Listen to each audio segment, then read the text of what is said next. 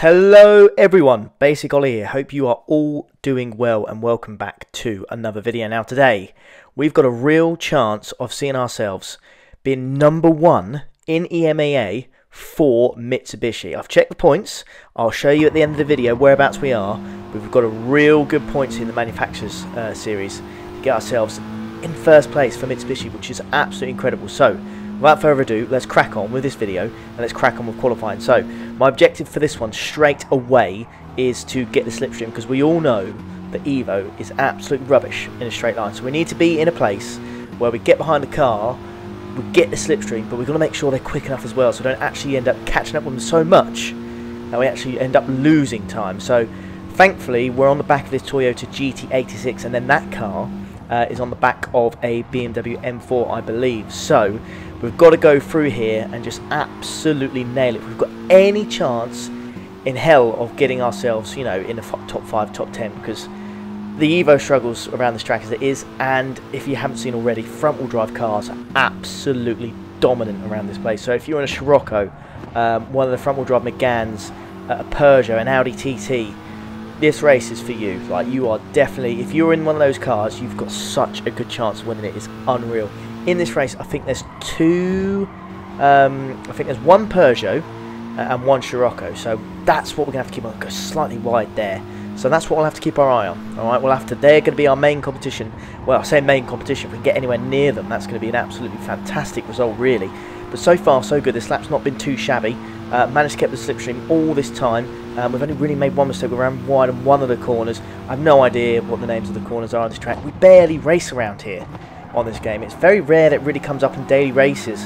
Uh, and it's very rare you really get Group 4. It's normally like some sort of, um, you know, front-wheel drive um, yeah, N400 or N300 like Peugeot or something, you know, nothing really major. But there are sometimes coming across the board now. So uh, current pole is a two-minute flat by the Frenchman. Um, but this isn't looking too shabby, so fingers crossed I'm going to be there or thereabouts. Going through this last section here, really difficult to get right. I go into second, flick it up to third. We've got the slipstream, we've got really close now, so we're about to cross the line. What kind of time are we going to do? And we're actually going to do a 159.5.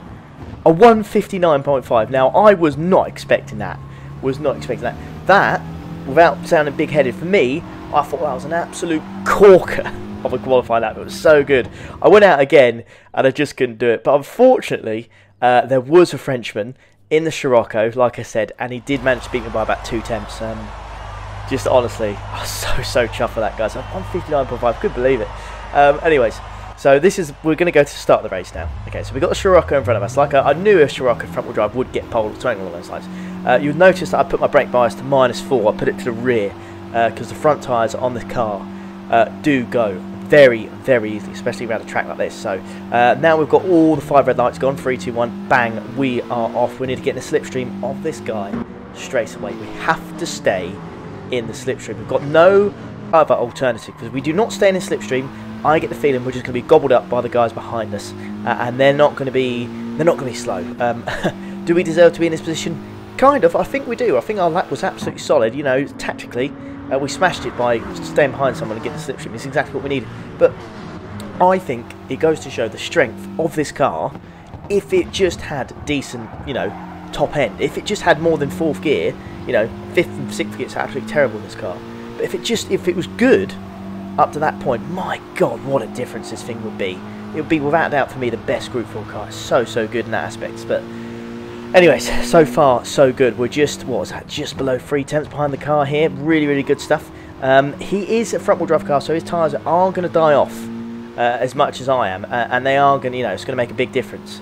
But uh, still, my that, that front-wheel drive car is so good coming out of the corners. Honestly, the speed it takes outside of the corners is unbelievable.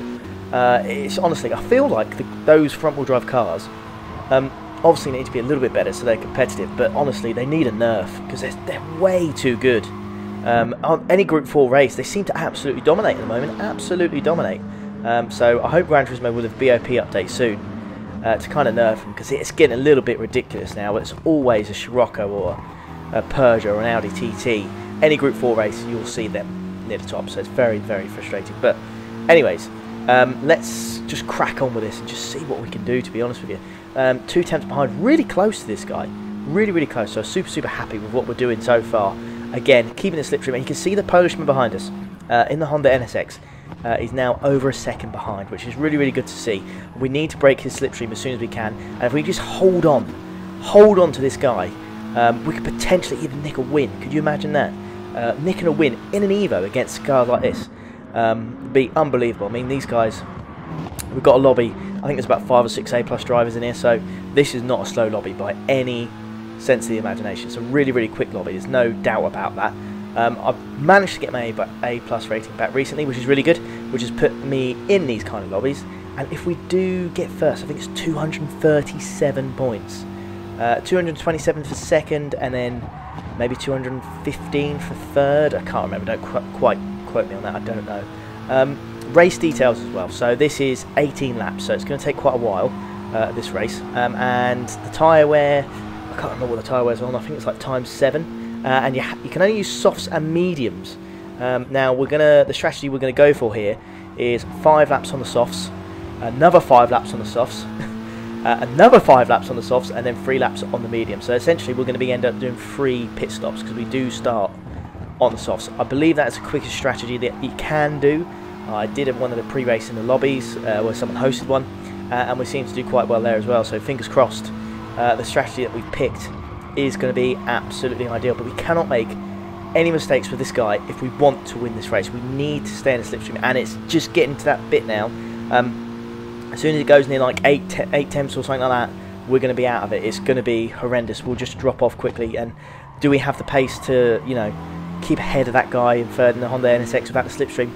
I'm not quite so sure. I'm not sure. We'll have to find out. If we do drop out, we will find out?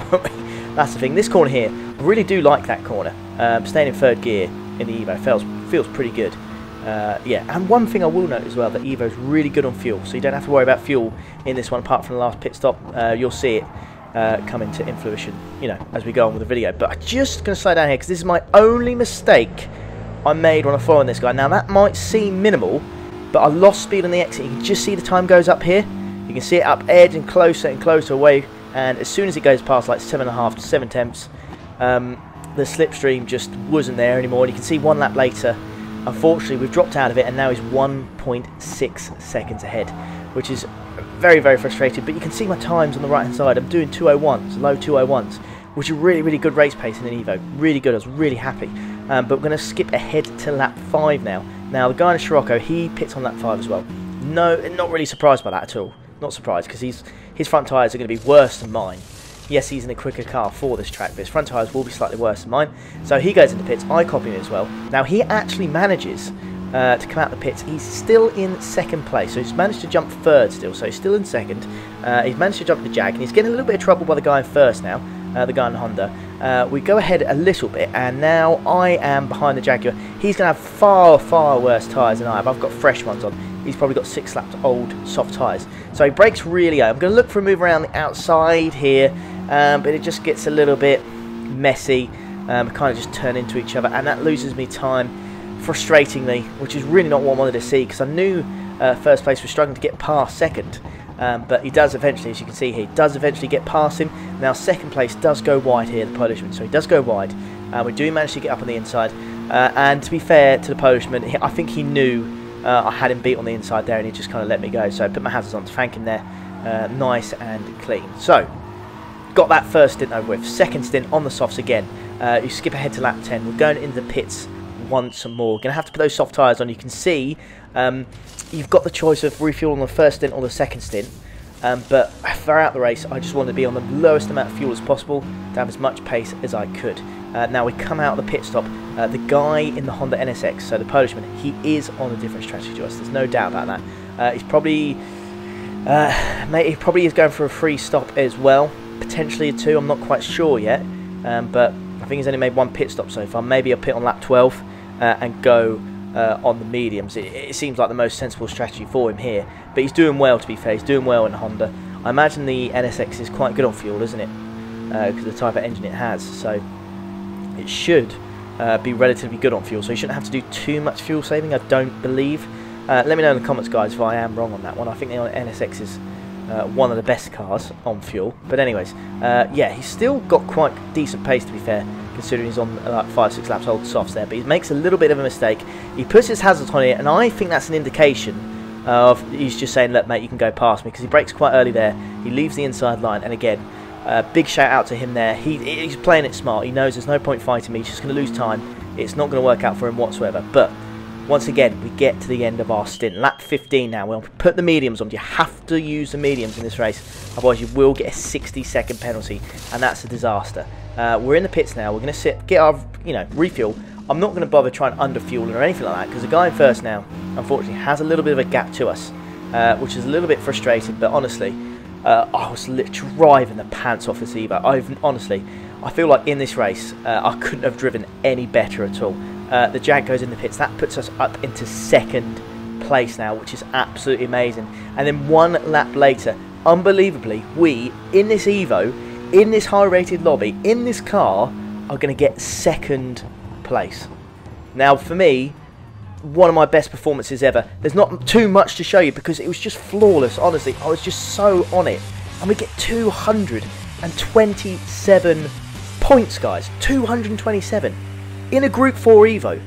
Honestly, that's honestly, I've never gotten that many points in a car this pants. It's so good. I've got more points than that before, but unbelievable. And you can see here, so we're currently 16th, 298 points. But, but by the time that updates tomorrow, it's your two best results. We'll technically be first We'll technically be first. So I'm really eager to see that. But um, that's the end of the video, guys. Really, really hope you enjoyed that. Please leave a like, like if you did. uh, subscribe if you're new around here. And I'll catch you for the next one. Take care. Ta-da.